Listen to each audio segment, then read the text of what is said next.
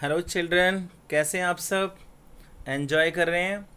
तो बेटा, आज हम स्टार्ट करेंगे chapter number eight human health and diseases so this is very very important chapters आप सबने फ़र्स्ट यूनिट कंप्लीट कर ली है and first unit you know that is very interesting unit and आप सबने उसके टेस्ट भी दे लिए हैं एमसीक्यू टेस्ट भी दे लिए है। तो सेकेंड यूनिट को हम मिस कर रहे हैं और chapter number eight human health and disease को स्टार्ट कर रहे हैं।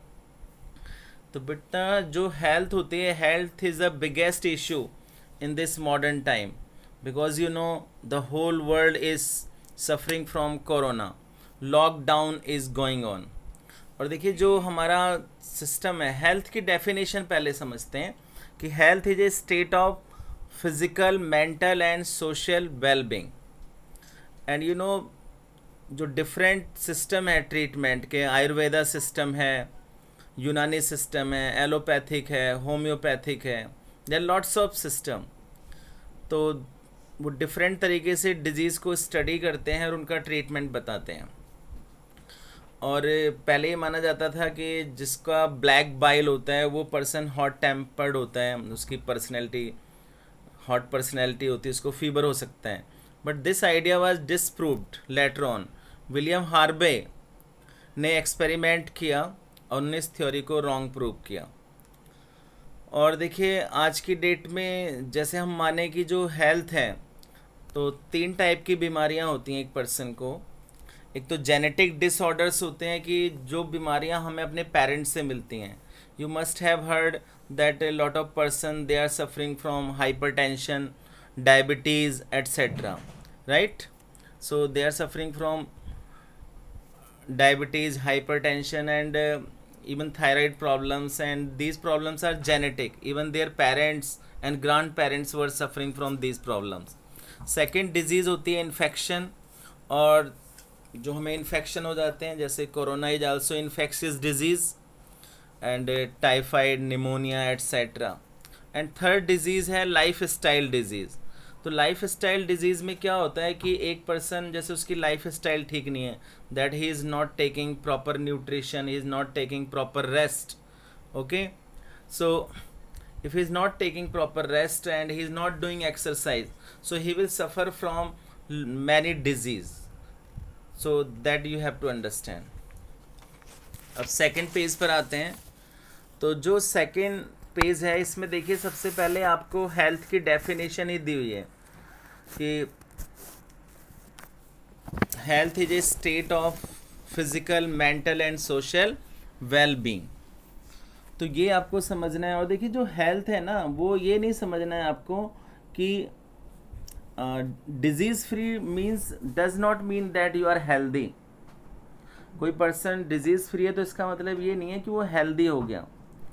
और देखिए इफ़ यू आर हेल्दी तो इसके क्या क्या बेनिफिट हैं? फ़र्स्ट ऑफ़ ऑल आपका जो लाइफ स्पैन है, वो बढ़ जाता है। यू लिव फॉर मतलब आप ज़्यादा लंबे समय तक जीवित रहते हैं और इससे इन्फेंट मोर्टिलिटी रेट भी घटता है।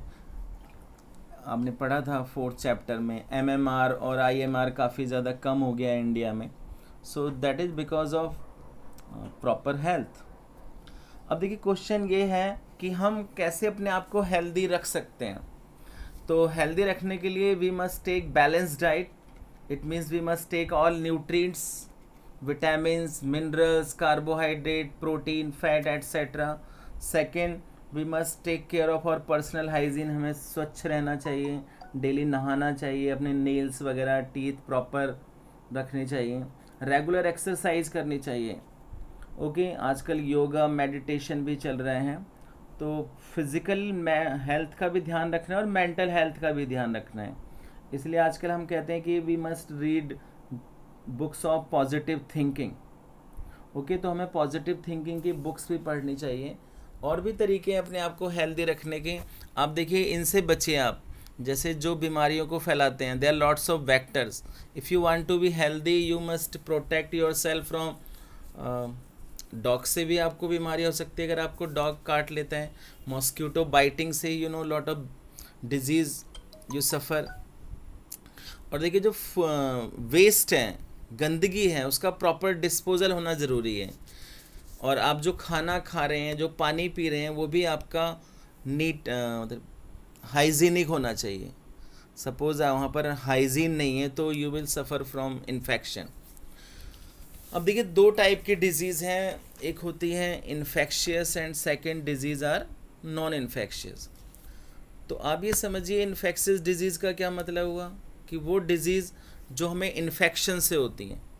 Infection means that you suffer these disease are caused by bacteria virus fungi etcetera uh, like corona covid-19 is also infectious disease dengue chikungunya you know these are infectious disease and second kind of disease are known as non-infectious disease कि some disease they are not caused by an infection but uh, they are caused by our wrong lifestyle for example um, suppose if any person uh, keep eating oily food तो आप समझते हैं उसको क्या हो जाएगा उसको ओबेसिटी हो जाएगी और ओबेसिटी हो गया तो उसको हाइपर टेंशन होगा हाइपर टेंशन होगा तो डायबिटीज़ हो जाएगी and he suffer from diabetes तो he will suffer from so many disease तो बहुत सारी प्रॉब्लम हो जाएँगी।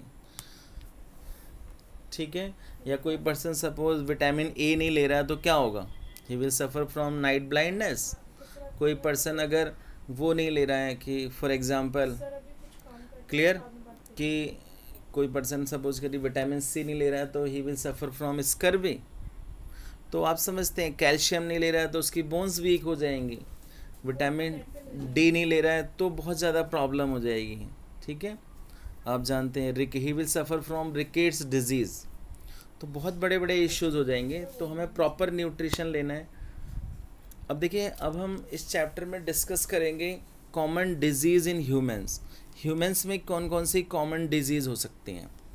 तो देखिए, सबसे पहले तो आप ये समझिए bacteria virus fungi protozoans helminths जो इन्फेक्शन हमें करते हैं, उन ऑर्गेनिज्म को हम कहते हैं पैथोजन वो सब हमारे पैथोजन कहलाते हैं और पैथोजन कॉज डिज़ीज़ इसीलिए क्या है, आपने सुना होगा कि पैथोलॉजी लैब होती हैं।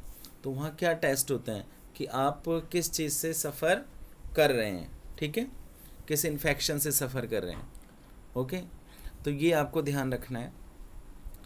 तो देखिए अच्छा जब कोई पैथोजन हमारी बॉडी में एंटर करेगा सपोज़ स्टमक में चला गया तो आप जानते हैं स्टमक में क्या है कि स्टमक में जो है एच होता है तो एच उसे क्या कहते हैं, आप जैसे उसे अपने आप को प्रोटेक्ट करना पड़ेगा एच से। वरना एच तो आप जानते हैं किसी भी जर्म को किल कर सकता है। ठीक है? तो ये हमें ध्यान रखना है।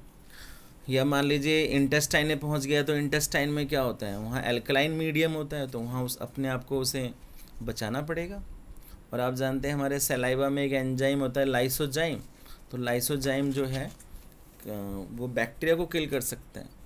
इट मीन्स अगर कोई भी पैथोजन हमारी बॉडी में जाता है तो हमारी body has ability to protect its from infection and this power is known as the immunity आपने सुना होगा कोरोना में ज़्यादातर उन्हीं लोगों की डेथ हो रही है जिनकी इम्यूनिटी वीक है ओके कि, क्या है इम्यूनिटी वीक तो ये ध्यान रखना है हाँ। तो ये हमें ध्यान रखना है कि इम्यूनिटी को कैसे स्ट्रॉन्ग बनाएँ। तो फ़र्स्ट हमारा जो इसमें डिज़ीज़ हम पढ़ेंगे वो है टाइफाइड डिज़ीज़ तो आप देख रहे हैं लास्ट में इसमें कि ये दिया हुआ है कि जो टाइफाइड है it is caused by salmonella typhi तो ये एक बैक्टीरिया है जो टाइफाइड डिज़ीज़ को करता है. एंड दिस जो पैथोजेंस हैं, वो जनरली हमारे स्मॉल इंटेस्टाइन में पहुँच जाते हैं कंटेमिनेटेड फ़ूड के थ्रू और उसके थ्रू किसके थ्रू फ़ूड वाटर के द्वारा. और इसके जो सिम्टम्स होते हैं वो बहुत इंपॉर्टेंट हैं। बोर्ड में आपको सिम्टम्स आते हैं। तो इसमें क्या होता है? हाई फीवर हो जाता है वीकनेस हो जाती है स्टमक पेन हो जाता है कॉन्स्टिपेशन हेडेक हो जाता है and loss of appetite right तो ये आपको ध्यान रखना है, भूख नहीं लगेगी। और इससे कई बार क्या होता है? हमारे इंटेस्टाइन में छेद भी हो सकते हैं ओके छेद का मतलब पोर्स हो जाएँगे। तो सीवियर केस में डेथ भी हो सकती है।